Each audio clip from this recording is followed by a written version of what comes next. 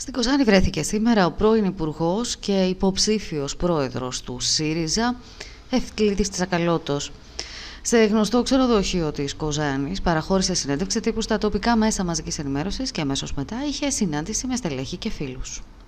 Κάτι που μάθαινα στους φοιτητές μου όταν ήμουν πανεπιστημιακός είναι αν θέλεις να ξέρεις που θες να πας πρέπει πρώτα να το αποφασίσεις αυτό και μετά να ξέρεις πότε πού να αρχίσεις.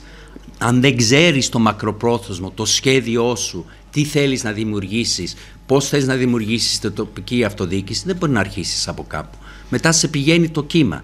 Για να μην σε πηγαίνει το κύμα πρέπει να έχεις εσύ μια υπόσταση που ξέρεις ακριβώς που θες να πας και αρχίζοντας από μικρά βήματα ό,τι και να γίνουν στις αυτοδιοικητικές ε, εκλογές και νομίζω ότι έχουμε αρκετά σχήματα που μπορούν να πάμε ε, καλά, εγώ σας λέω το κυρίαρχο είναι ότι η ανάκαμψη του ΣΥΡΙΖΑ θα αρχίσει με δουλειά μυρμηγκιού. Αυτό δεν σημαίνει, δεν είναι σαν αντιπαράθεση ότι δεν θα δώσει τη μάχη τώρα, αλλά ξέρεις ότι αυτή θα είναι μια μάχη. Ο πόλεμος όμως θα κρατήσει πολλά χρόνια και εμείς ετοιμαζόμαστε και για συγκεκριμένες μάχες και στις αυτοδοκικές εκλογές και τις μάχες που θα δώσουμε στη Βουλή αλλά και για τον πόλεμο που θα υπάρχει τα επόμενα τρία χρόνια.